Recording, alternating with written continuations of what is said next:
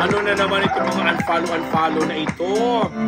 Mga katimang betamol, sa showbiz kasi talaga, hindi natin maaasahan na yung mga lahat na mga artista, parang ordinary yung tao din, kahit sa mga kahit nga tayo magkakapamilya minsan, magkakapatid, kahit nga yung mag-asawa minsan, hindi nagfafaluhan ng isa isa isa, di ba? Kasi yan siguro ang isang uh, uh, fact, uh, salik factor, hindi naman masasabing ingredient or, o, o pakinabang, ano bang dapat na term na provide the, the, the writer to me and uh, uh, i-acknowledge ko po kayo. Kasi parang sa social media kasi naging ano na yan ng mga tao eh, yung yung uh, naging personal na nilang uh, parte ng pagkatao nila, ng existence nila, yung mga social media accounts nila. At nitong ang mga nakaraang araw, ngayong June 2024, sa showbiz, ay napag-usapan yung pag-unfollow ni ni na to? Ni Julia Barreto at saka ni Liza uh, Liza ano to?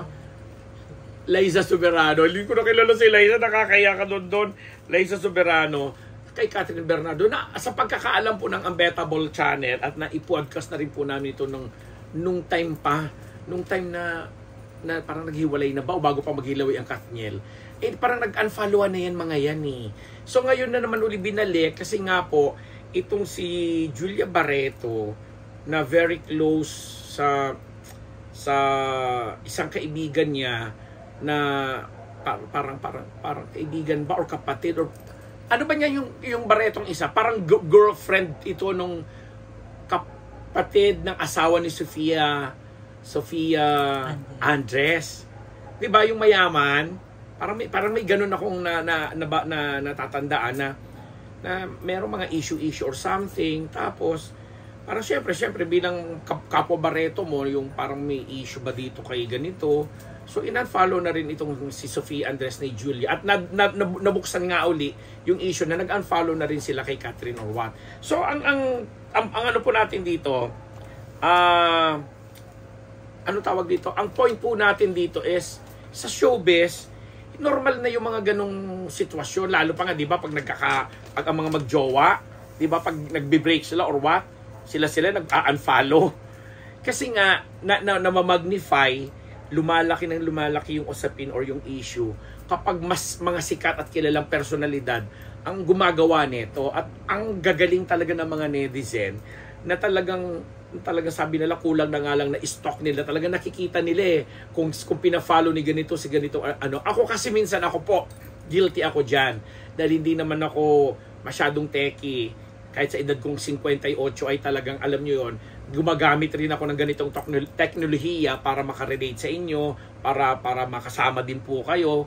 Pero pagdating doon sa mga mas malal, mas mga mas mga malalalim pang paggamit ng technolo- technology ng mga ganyang social media accounts, ay hindi ko na rin masyadong pinapansin niya kasi marami pa nga iba dyan, may mga gimmick, gimmick pang ano. Kaya talagang tama, siguro ma-regulate ito pagdating ng araw, may mga ahensya na na talagang sinusubaybayan, iniingatan ito. Kasi ako mismo, sasabihin ko sa inyo, napipikon ako kapag maraming nagte-text sa akin na hindi ko naman kilala yung mga number tapos may mga kung ano-ano mga link na binibigay na yung pala mga scam pala, party pala siya ng ganito. So, may mga artista talagang siguro nag-iingat lang or dahil nga na mag-magnify na sikat sila, nakikita nila na, ay bakit hindi na pina-follow ni ganito si ganito.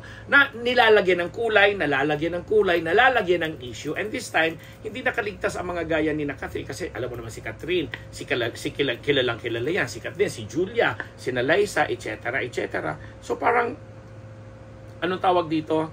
Uh, parang tinitingnan ito, isa ito sa mga sinasabi ng mga netizen at mga taga-subaybay ng mga artistang ito na paraan nila, kaparaanan nila para malaman nila kung uh, magkaibigan ba sa ganito, magkaaway ba sila ng ganyan, silent, ano ba sila, silent enemies, mga ganon. But, sila lang po ang nakakaalam yan. Kasi itong mga artistang ito, ina-expect natin sa kanila, ang trabaho nila dapat na-deliver naman nila for as long as nag enjoy tayo sa ginagawa nila. Sabi nga natin, hindi naman tayo na o-offend sa kanilang ginagawa kasi talagang sa panahon po ngayon ng digital world, ang mga artista na rin talaga ay may sarili na rin kaparaanan kung paano nilang pinopromote ang kanilang sarili, higit kanino man, ang mga trabaho nila, ang mga projects nila sa television, film, mga endorsements, etc. Kaya nga minsan hindi na sila nag-hire talaga ng mga publicist, ng mga PR consultants nila, ng mga PR people nila kasi or minsan hindi na sila umaasa sa PR ng mga companies kasi nga sila na nga mismo especially pag may million-million kang followers, sila na mismo ang nagpo-promote ng sarili nila. And siguro ayaw lang nila siguro na-identify sa mga ibang ibang grupo or ibang individual na may toxic din naman sigurong pananaw sa buhay or mismo sila ang toxic, kaya ginagawa nila ang mga ganong kaparaanan. On the other note, um, anong tawag dito? Ito mga binanggit nating artista, eh, anong tawag dyan? Ito mga binanggit nating mga artista, ay, again, may ano sila, meron silang sarili nilang diskarte kung paano lang gagamitin ang kanilang mga social media accounts. Makatulong man sa hindi. At may mga iba talaga dyan na talagang minsan hindi nakakapagpigil. Yun na, uh, kagaya nung isang araw na balitaan ko na lang na si May Mendoza talagang talagang nakipagbardagulan sa isang uh, nagkomento ng hindi maganda, nakipagwalwalan sa kanya. Hanggang ito yung yung pang netizen na yun ang nag-block sa kanya, ha, 'di ba?